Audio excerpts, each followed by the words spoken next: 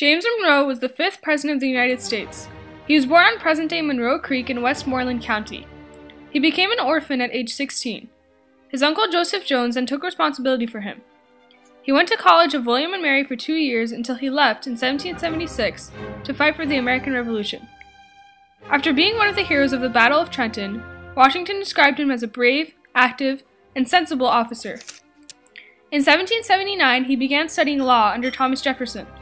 He was a member of the Virginia legislature in 1782, the Continental Congress from 1783 to 1786, and the Virginia Ratifying Convention in 1788. He was also a senator from Virginia from 1790 to 1794, the minister of France from 1794 to 1796, and the governor of Virginia from 1799 to 1802. Henry Clay was a Democratic Republican senator and representative from Kentucky. Clay proceeded in the year following the War of 1812 to develop what became known as his American system. The American system was advanced by the Democratic Republican Party and a number of leading politicians, including John C. Calhoun and John Quincy Adams, who were both influential members of Monroe's cabinet. The system was a new form of federalism. It called for support for a high tariff to protect American industries and generate revenue for the federal government, maintenance of high public land prices to generate federal revenue, preservation of the Bank of the United States to stabilize the currency, and a development of a system of internal improvements such as roads and canals which would connect the nation together and be financed by tariff and land sale revenues. Clay believed his plan would bring the U.S. to that height to which God and nature had destined it. The National Bank was reinstated, reinstated and the protective tariff became law in 1816, but Clay's plans for internal improvements at a national expense were thwarted by constitutional scruples of Presidents James Madison and James Monroe. I'm frustrated by the fact that your country now thinks that Texas is yours after fighting the Seminole Indians. The land is clearly still ours. I understand why you may be frustrated, but Jefferson has already come up with a compromise, saying that you guys will give America your land and in return will end our relations with Texas, but you guys clearly refused. I understand, but this was long before I knew what was going on. Alright, well, Monroe and I have agreed to renew this compromise. Um, you will give us East and West Florida, and we will give and we will give you guys Texas. Okay, that's fine with me. The economic panic of 1819 was the first major financial crisis in the United States. The panic occurred during the end of the era of good feeling. The main cause of the economic panic was the poor economy. Some economists say that the panic was due to the cause of the first failure of the expansionary monetary policy. The economic panic of 1819 marked the end of the economic expansion that followed the War of 1812. The Rush Bagot Affair was an agreement between the United States and Great Britain signed on April 28, 1817, to disarm the Great Lakes.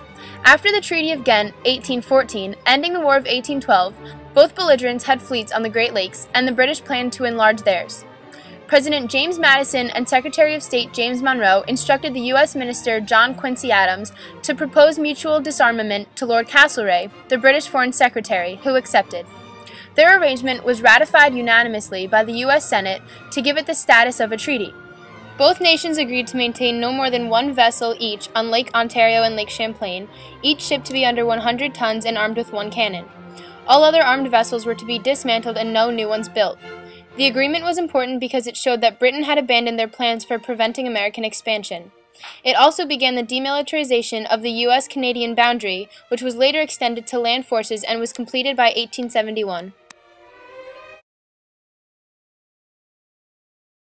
I want to become a state, but I don't know if I can become a slave state because the Northerners think it's morally wrong and economically unfair. Well, we can't admit you as a slave state because the number of free states and slave states are balanced right now at 11 each. So if we admit Maine as a free state and you as a slave state, then it'll be balanced to 12 each. Okay, so how about I become a slave state and then slavery will be banned south of my border? But that'll upset the Southerners, so we can admit Maine as a free state and then give you the option to make a state constitution without restrictions on slavery. Okay, so I'll be part of the South and here's my constitution.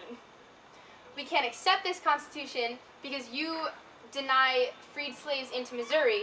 So you either have the option to change it and um, not deny freed black slaves their constitutional rights, and that will make you a state. Okay, that's fine with me.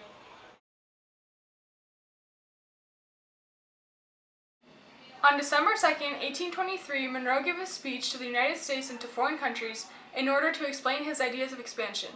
The American continents, by the free and independent conditions which they have assumed and maintain, are henceforth not to be considered as subjects for future colonization by any European powers.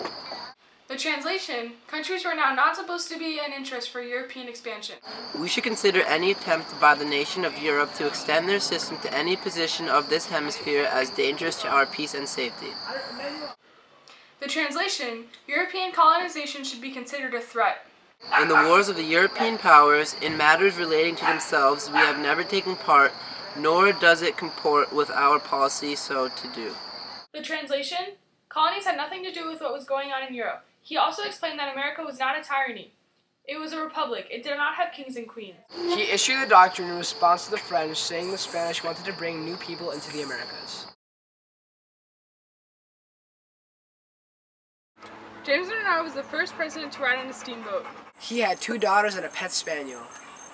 James Monroe died on July 4th, which is the same date as John Adams and Thomas Jefferson.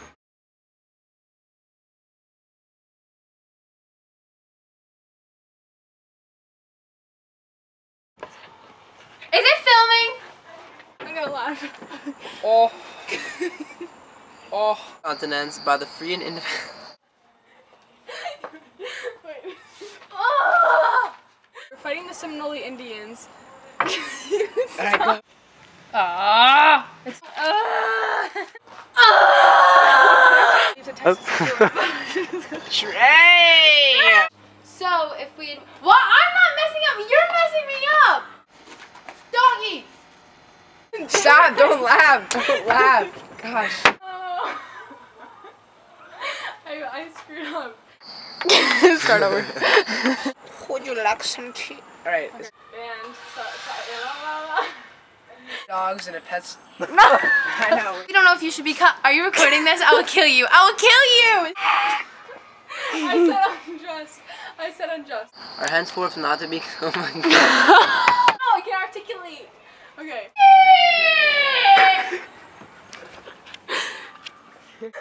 I get one mess up out of ten. Okay. After